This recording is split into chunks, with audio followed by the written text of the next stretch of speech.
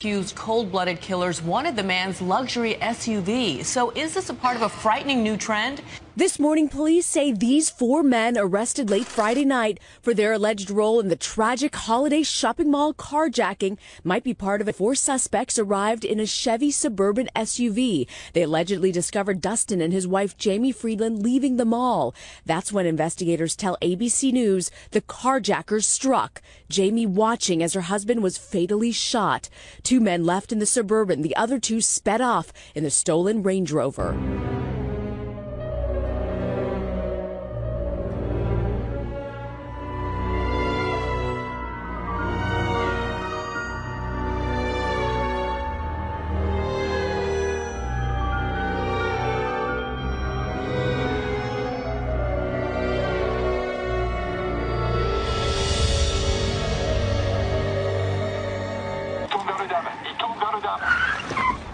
Le dame est attaqué, le dame est attaqué.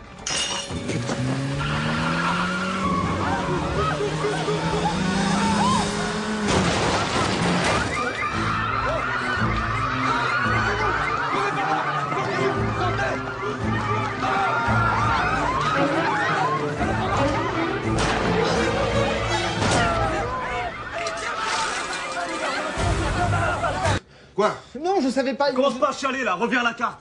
On sait très bien qu'ils vont taper une autre banque demain. Tu leur as fait visiter 5 points stratégiques et il y a eu 4 braquages. J'ai horreur de ça. on Shattuck Avenue last August. Surveillance video shows a group of three young men walking into the cafe, lingering for a while, then suddenly they lurch toward two different customers, stealing two laptops simultaneously and running out the door. You probably saw the one in the foreground. The guy in the black hoodie easily gets the laptop and runs out. Here's the other one. Watch the guy in the pink hoodie.